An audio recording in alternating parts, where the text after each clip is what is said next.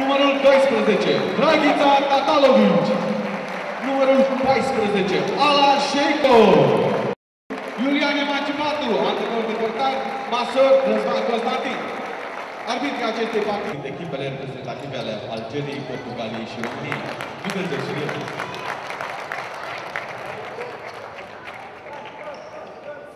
Doamnelor și domnilor, stimați spectatori, pentru a asigura condiții corecte de toți sportivii, oficiali și arbitrii, vă rog contra Olimpia cu începere de la ora 19.30 la primul meci din faza semifinală a Ligii de basket masculin.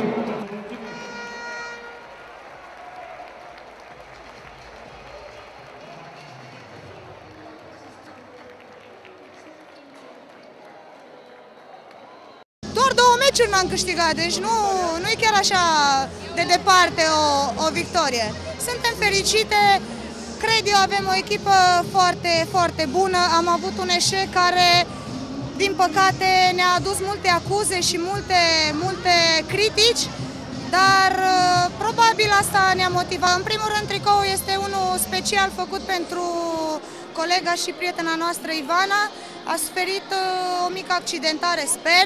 Cu ocazia asta am hotărât uh, să facem un, uh, un tricou special pentru ea, iar acel 100% echipă și caractere, asta ne definește, asta suntem și la bine și la rău. Ce se întâmplă cu accidentările? Parcă sunt așa o tradiție. Nu cred că este o tradiție doar la CSM, eu cred că se întâmplă peste tot. Acum am văzut și la Baia Mare, și la CSM, și la... Ăsta e handbalul, din păcate devine tot mai dur.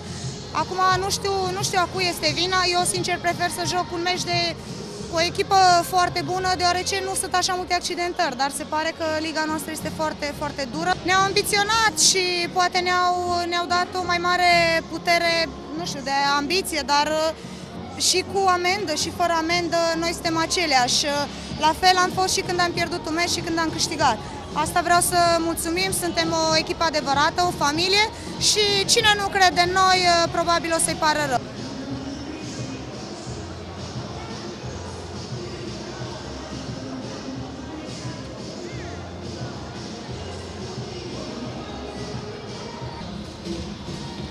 Mihai, la un meci, să zic așa, strâns.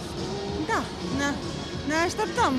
Suntem de valori apropiate, ne așteptăm să fie așa de greu, dar mă bucur că am câștigat. La un moment dat se punea problema locului 3, acum se pune problema locului 5. Uh, se punea problema locului 3? Uh, da, noi ne-am dorit foarte mult să fim cât mai sus. Acum suntem o echipă, de-abia ne-am format uh, astă vară, foarte multe jucătoare noi, știu că sunt foarte multe așteptări, dar nu se poate fără puțină răbdare. Vrem să fim alături de Ivana care s-a accidentat la antrenament și uh, este foarte greu pentru ea acum și partea asta nu vede nimeni, uh, uh, partea cu accidentările, partea cu suferința care e, nimeni nu înțelege și oricum e problema noastră, dar uh, e bine să fim acolo uh, lângă ea. O să discutăm la final de campionat, la final de contract. Uh, nu vreau să intru în polemici, există federație, există lege, nu e nicio problemă. Uh, noi suntem foarte bine, suntem foarte strânse și unite, nu avem nicio problemă.